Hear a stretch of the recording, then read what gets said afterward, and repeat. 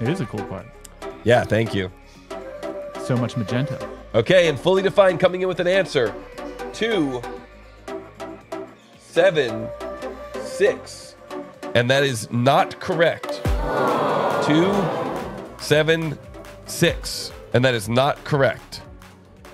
Hey, what's up, everybody? Too Tall Toby here, and today we're going to take a look at an epic CAD vs. CAD battle. This one comes from our 2024 World Championship of 3D CAD speed modeling, and it features our final four runners in that tournament. So these guys are some of the fastest in the world. But if you want to challenge yourself, and see if maybe you're even faster than these wizards, you absolutely can. When I reveal the 2D drawing, you can take a screen capture and then you can attempt to model it right along with these guys using any 3D CAD system. Try to calculate the correct mass, and at the end of each of these battles, I will show you the correct mass on screen. So if that sounds good to you, hit the like button. Be sure to share this video with some other CAD enthusiasts. And let me know down in the comments, what did you think about this model and what was your favorite part of this CAD versus CAD battle? I would I would say slow down, make sure that everything is correct, and to uh, if you have any questions, double check with with Toby. Oh, okay. Good advice. It's solid sounded. You're really throwing me into the mix there. Yep. I like it. I like it. All right, guys. Well, here we go. This next and deciding battle. Who's going to go to the finals? Will it be Great Nate 08, the Fusion 360 phenom from high school? Or will it be ChrisBCo. trying to lock up his first time going into the final two? Stretch your fingers, shake everything off. Mm-hmm. Here we go, guys. This next CAD battle featuring Fusion 360 and SolidWorks begins in three, two, one, go! What is the total mass of this multi-body part or assembly in XXX pounds? All right, guys, take a look at this one. Read up, take a screen capture. This is a really cool, really cool model. We've got four instances of those legs. The legs are the same in all four places. All the edges of the holes align perfectly with the leg. The upper plate is hollow. The lower plate is solid. That's all I'm going to tell you. This is probably so far my favorite design. This is definitely a cool, cool part. More multi-body. This part is diabolical, Aaron C says. Mm-hmm. Agreed. What would something like this be used for? It's a table. A twisty table. It's a twisty table. Sure. Cover for me for a second. Okay. To put a cup, maybe a, a small lamp. This is a totally twisted table. Let's see, this is coming together very well.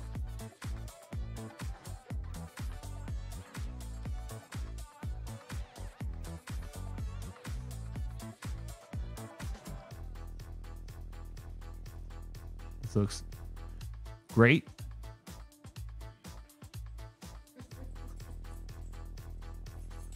Cool part. Ivan says, cool part. Rita says, haha, nice optical illusion model. Yeah, it is kind of like an optical illusion.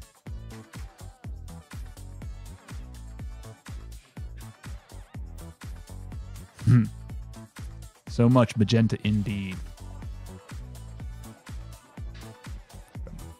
Boom, boom, boom, boom, boom. How we doing in the audience?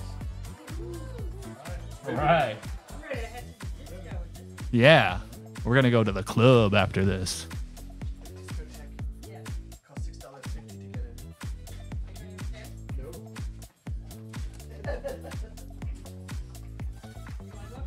I was entertaining. Good job. Thank you. Yeah, this is this is definitely a tricky model right here that we're looking at. This is uh I'm very, Oh. I'm really interested to see how these guys end up coming up with a solution for this one because this is one where you have multiple parts that need to fit together. This happens all the time in the actual industry. You've got these uh you know, you got this tabletop, you got these table legs, everything needs to fit together. Hmm. Design would fit next to a tensegrity table. Yeah, exactly. In fact, we saw uh, Ex Machina do a tensegrity table in his uh, recent Alibre demonstration. But so here you can see both of our runners are creating that kind of first leg, trying to figure out how that first leg is going to fit in. And then once they have that first leg, then maybe they'll be able to use it. But the thing is, you'd have to you have to understand how the remaining features from the top and the bottom are going to work with that leg. Wow. You know, the the location of some of these features really can't be solved until you create earlier features. So Look at ChrisBCo though. Made some good moves there. he's trying. We're gonna see what he ends up coming up with. Looks like he's doing a circular pattern there of. So he created a cut and then he's doing a circular pattern of that cut, but it looks like maybe he cut away part of the the leg when he did that.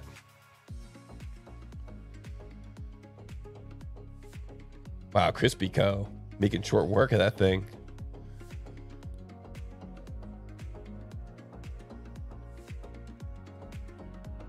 Okay, and now you can see now he's trying to hollow out. Crispy on the right there is trying to hollow Ah. out that upper part. Yeah.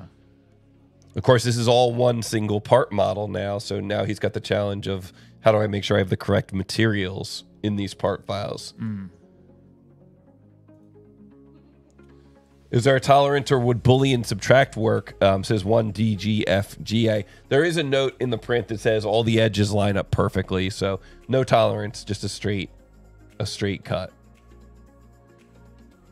Ivan saying, cool part. I think I heard you say that when I was in the other room. Yeah. It is a cool part. Yeah, thank you. So much magenta. Okay, and fully defined coming in with an answer. Two, seven, six. And that is not correct. Two, seven, six. And that is not correct. Oh. Oh. I usually have the sound effect. Oh. Oh. Two, seven, six. And that is not correct. So look at all the views. Look at all the views from the print. See if you guys can't figure out what's going on. Our runners are allowed to do one incorrect answer. We're looking for what is the mass of this multi-body part or assembly in pounds. I feel like these guys are getting all of the pounds models. So Rambros and Dom, you guys should be thankful. Hmm. Nobody likes the inches and pounds models.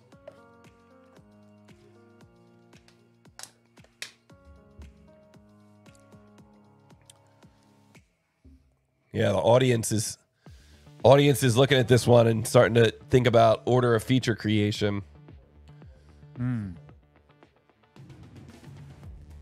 Looks like on the left there, Great Nate has a little that's gonna it's like trying to fit a square hole into a round peg.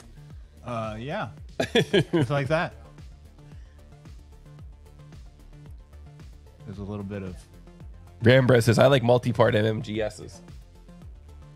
I think we all do. Yeah.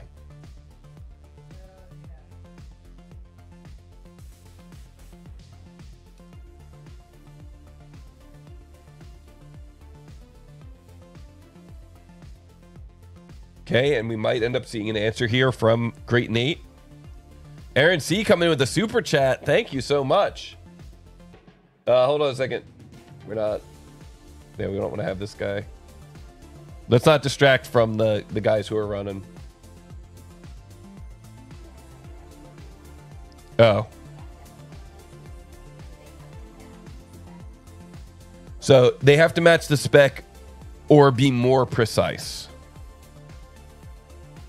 They have to match. Yep, no problem. Sorry, I just got a little distracted there. Yeah, one D G F G A. They they have to match the spec or they have to be more precise. So I'm just watching both of our runners here. Okay, Great Nate 08 coming in with an answer four, three, five pounds. That is not correct.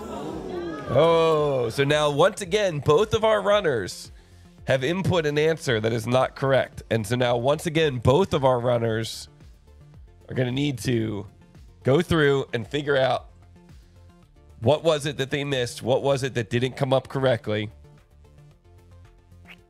Wow, those answers are very different. This is exhilarating. Matthew saying one, we measure in ounces like real men. Yeah, that is true. We got to get some ounce challenges in here. Oh, that's ounces. Yeah, everything we do is in uh everything we do is in pounds or in grams or kilograms. We don't do ounces though for some reason. We should start though. I thought that was Oz. Oz. The show. Oz. Remember that show? Yeah. Let's go back a few years. Let's go back a few years and talk about Oz. Imperial units are way too confusing for Europeans and Americans working together. Yeah. Yep. That's caused a lot of problems over the years, right? Uh, yeah, I guess probably, probably like inner workplace problems. Oh yeah. People getting mad at each other. All right, so it looks like Great Nate 08 is, has adjusted his approach. It looks like he's now maybe trying to use the geometry from the legs a little bit more. And it looks like ChrisBCo on the right is still trying to figure out what's going on with his cut extrudes. I think ChrisBCo on the right ended up going through and making some cut extrudes in the beginning that they looked a little off to me at the beginning. I'm not sure if you guys were seeing that too.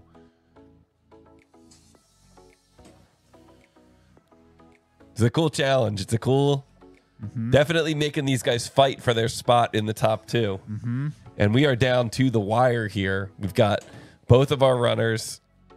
Oh, look at this Ivan exploit. He's hollowing that out the other way. Oh. That's ah. okay. That's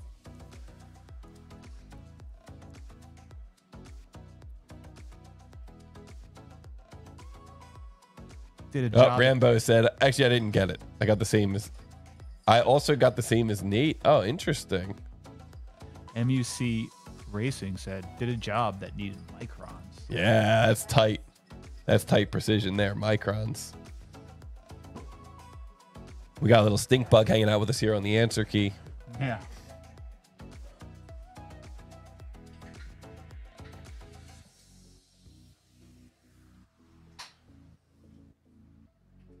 I like that. I like how Fusion was able to show that.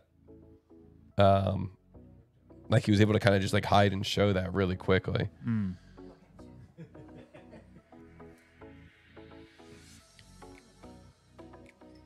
So we got both of our runners. They both. It looks like Chris Co is now going through and looking at his materials. Yeah. Double checking to make sure everything is right. Oh, Vinny.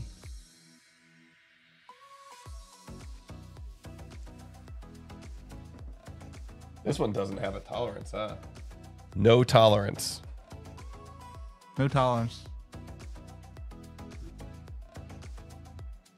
We are in the finals, guys, and this is why we don't we don't worry too much about our timing here in the finals because if there ends up being, you know, if there ends up being a push or anything like that, then so be it. Hmm. We got time. We're not in any rush. But if you don't go too fast enough, then your opponent might come up with the answer before you. Yeah. But no pressure. Yeah, but also no pressure. But everybody's watching you. Yeah.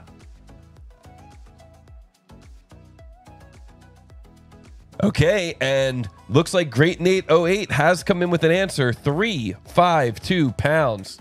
And that is not correct.